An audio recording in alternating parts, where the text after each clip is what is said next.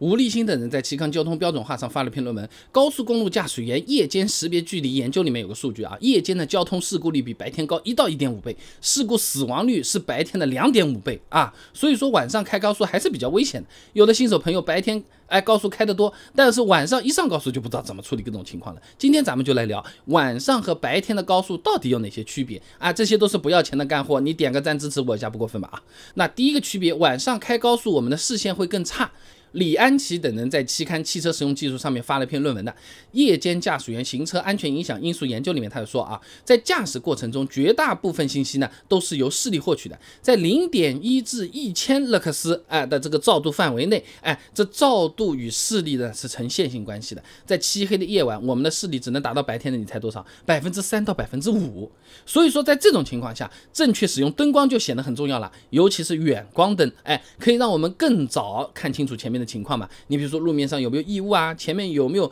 没开灯的车子啊，等等等等啊。南京林业大学张和鹏有篇硕士论文《高速公路行车环境对交通安全的影响分析》，上面它有个数据啊，这夜间开车使用远光灯，可以在七十点四米就认知到对比度百分之八十八的视标。那如果使用近光灯，那要在四十三点三米才能认知到对比度为百分之八十八的视标了啊。哎，这两者相差有二十七米，差不多就是六台车左右的距离了，还是比较夸张的。再来一点讲，就是。有点像近视的，你戴了眼镜和没戴眼镜，哎，就是这么个看清楚不清楚的区别啊。那所以说啊，晚上跑高速能用远光灯的路段，其实都是建议使用远光灯的啊，可以比近光灯更早发现情况。那当然了，啊，如果跟在别人车子后面比较近。那那或者对面有来车，那你这个还是要切回近光灯的，影响了别人就是影响自己安全，这千万注意啊。第二个区别啊，就是晚上开高速的眩光干扰会更多。重庆大学刘锡成有篇硕士论文的《眩光对夜间驾驶视觉工作影响研究》，上面有个数据的啊，这日落前光照强度呢是一千勒克斯啊，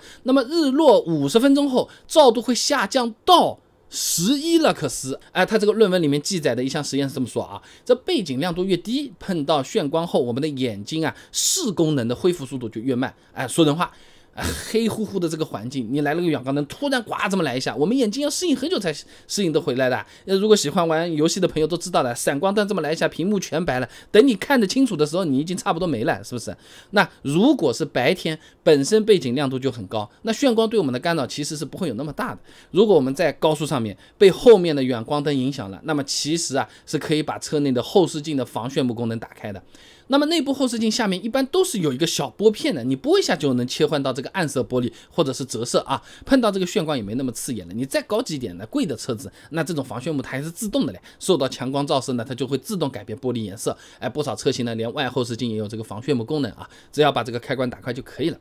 第三个区别啊，晚上开高速啊更容易疲劳啊，主要两个原因，第一个原因就是高速路况的特殊性。东南大学汪立元有篇硕士论文的《高速催眠形成机理及其缓解措施研究》上，他怎么说啊？这高速开车的时候，由于注意力持续集中，这凝视的状态会引发催眠诱导，而且呢，对路上的点和线过于关注，随着过程积累，容易陷入神志恍惚的状态。这个现象呢，叫做眼神经疲劳学说啊。简单讲呢，就是开高速的时候，由于路上情况比较少，重复感又很强，驾驶员大部分精力呢又都用来看路，本身就很容易犯困无聊嘛，是不是啊？单调嘛。那第二个原因呢，就是夜晚对人的生物钟的影响。浙江大学郑思琪有篇硕士论文《光照对人体的警觉度、任务表现与生理节律的影响》上，上述说啊，这太阳光照变化调控着人体的这个生物钟呢，其中被称作睡眠荷尔蒙的这个褪黑素，它的浓度呢，哎，早晨骤降啊，使得人体睡意减弱，在晚上没有光照的时候呢，重新上升，让人睡意增强。说人话。本来晚上人就是容易犯困的啊，这个是人身体的正常反应，刻在 DNA 里的东西，就和小孩子生下来你不用教他就是会自己去找奶喝的啊。所以说晚上开车跑高速的时候，建议适当增加去服务区休息的频率啊。你比如说道路旅客运输企业安全管理规范上面啊，它是对长途客车有规定的啊。这夜间连续行车不能超过两个小时，每次休息不能少于二十分钟。我们开普通车子的想要更安全，也是可以参考一下这个做法法。的啊，所以总的来讲，晚上开高速和白天开高速，在视线、眩光干扰、疲劳这三个方面区别还是挺大的。如果晚上没上过高速的朋友，这些方面啊是可以多注意一下的啊。关注订阅我的 YouTube 频道“备胎说车”，第一时间可以看到我的视频和通知。备胎说车，我们下期不见不散。